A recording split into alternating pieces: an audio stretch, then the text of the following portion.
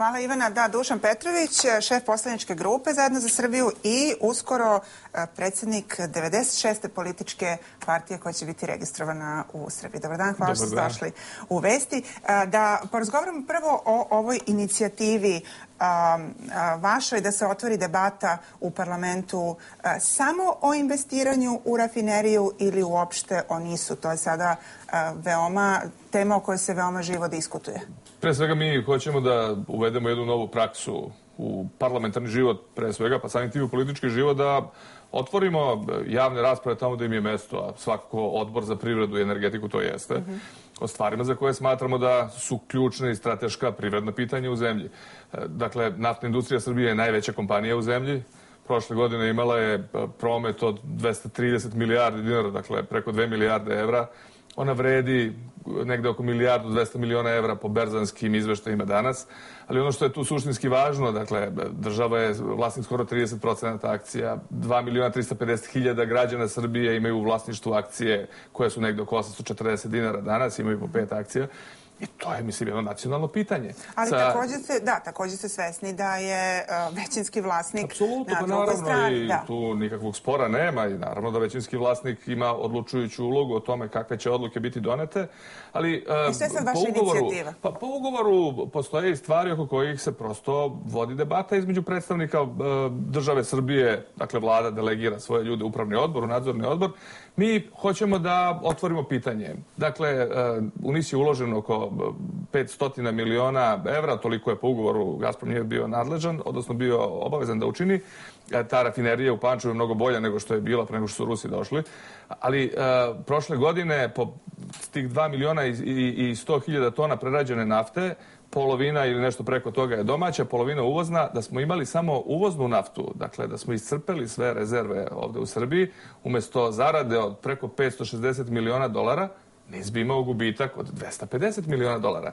Posle ove investicije, prema našem viđenju stvari, NIS postaje jedna supermoderna odnosno Pančevaška rafinerija postaje supermoderna i svi vlasnici, uključujući preko 2 miliona i 300 e, hiljada naših građana, dobijaju veću vrednost. Ono što je 30% državnog e, udela, odnosno akcije unutra, takođe e, dobija veću vrednost i smatramo da o tome građani Srbije treba odakle, budu upoznati. Odakle Srbiji koja muku muči sa deficitom i javnim dugom, to, to znate, 650 miliona dolara za početak investicije? Pre svega, naravno, sve do sada investicije je Gazprom, Gazprom Njeft je do sada te investicije ovaj, sprovodio iz, iz novca koji su oni imali.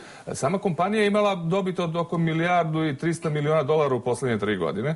A, Sa druge strane, i ukoliko se ispostavi da Rusi nisu spremni da investiraju ili da nemaju dovoljno novca, od e, gospodina Vučića, potpredsednika vlade, smo čuli pre nekoliko nedelja da u stvari postoji nekakav ozbiljan novac na raspolaganju iz Ujedinjih Arabskih Emirata ili sa nekih drugih strana, ali da nemamo projekte, evo ga, ovo je projekat koji ne može da ne uspe. Samo je potrebno da vidimo da li postoji volja da se uđe i da se ide u tom pravcu. Da li u Skupštinu uvodite temu rafinerija i NIS samo zbog ove ideje o investiranju u rafineriju Pančevo ili želite da otvorite NIS kao temu? Ovih dana se o NIS-u mnogo govori u medijima, e, na vladi Srbije, u razgovorima sa predstavnicima e, ruskog kapitala i čini se da tu ima dosta, kako se to popularno kaže, šumova na, na, na vezama. Dakle, da li vas interesuje samo ova investicija ili hoćete da se o NIS-u priča u parlamentu? Pa nekoliko stvari. Pre svega ovde govorimo o jednoj legitimnoj, jasnoj stvari. Hoće li biti investicije, neće biti investicije, da čujemo razloge za protiv.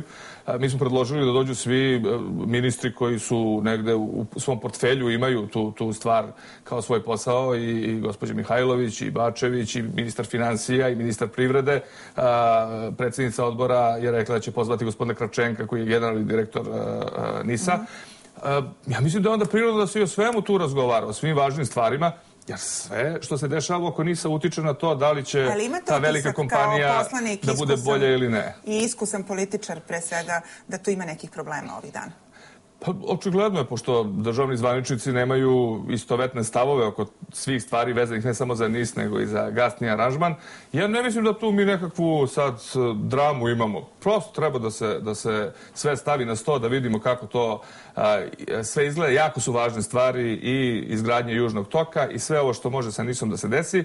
Ukoliko stvari budu išle kako treba, građani Srbije će imati dosta veliku korist, čak i neposrednu, jer kao još jednom da podsjetim, preko 2 miliona 300 hiljada ljudi su vlasnici akcije. E, a da podsjetimo još na nešto. Vi ste bili dugo član upravnog odbora Naftne industrije Srbije. U tom periodu a, NIS je beležio gubitke. Pa sad može Pa Kravčenko da vas, da vas pita pa sve do 2010. godine, do trećeg kvartala 2010. godine NIS je beležio gubitak, tako kažu Rusi. A, gospodin Kravčenko bi na tom odboru mogao da vas pita gde, gde su vam tad bili predlozi za investicije, što pa niste ja investirali ra- u Ja ću rafineriju? rado sa, sa gospodinom Kravčenkom da vodim debatu. Dakle, pre svega, sa gospodinom Kravčenkom imam odlične odnose. A, sve su to legitimne pitanja, kako da ne. I e, još jednom da budem potpuno jasan oko e, mog stava da li je ili nije trebalo NIS prodati. Da, i Gazprom Neft je odličan partner i ja tu nemam nikakvu dilemu. Jeste, mi smo ušli u NIS, odnosno kada su Rusi ušli, ja sam posle toga postao član upravnog odbora, pa bila je debata da li je gubitak 350 ili 500 miliona evra. Pa onda kada se govori o ceni od 400 miliona evra, onda treba uračunati taj gubitak. I još jednu stvar koja negde promiče. Dakle, e, e, proizvodnja e, derivata je smanjena na 2 miliona i, i, i 100 hiljada tona, sa negde preko 3,5 miliona, pa 2 miliona i 800 hiljada tona. Moje uverenje je da bismo mi sa takvim trendovima prosto kupujemo manje benzina i, i dizela nego ranije, jer smo siromaš, manje novca ima, nego 2006. i 2007. godine, da bismo mi imali situaciju kao u Srbija gasu, pa višestruko multiplikovanu, dakle, na kub bi bio Srbija gas problem naftne industrije Srbije da nije ta privatizacija sprovedena. A, e, sakupili ste 12.000 potpisa, što je, koliko je predviđeno za registraciju a, Da, za tri dana. stranke.